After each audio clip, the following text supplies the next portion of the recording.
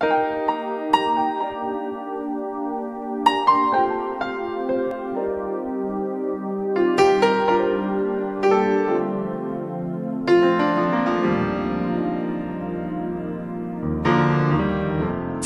roads diverged, never to meet again.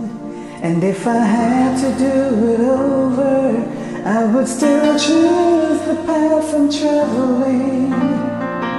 The road gets rocky and my steps unsure, but I am secure. I will endure. I get weary from my journey, so I sometimes groan. But the Savior is familiar with every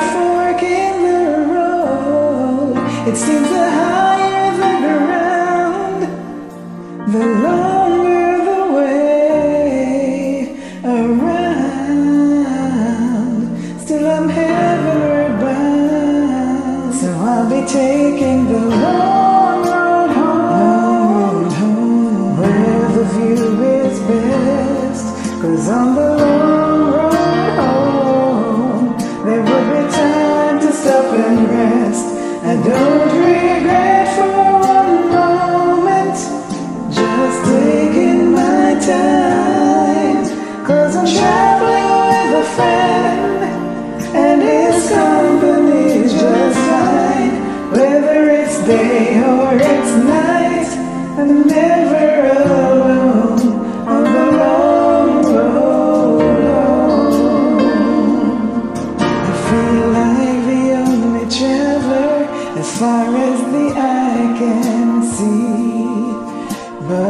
following a voice speaking so clearly to me.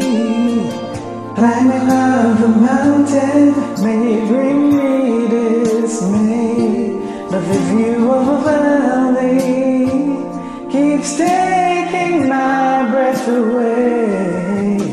There's a spirit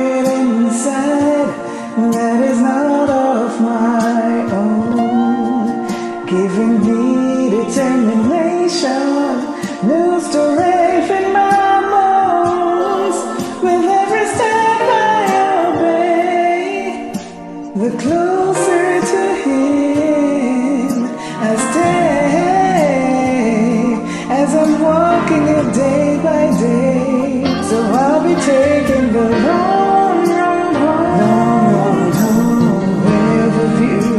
best. Cause the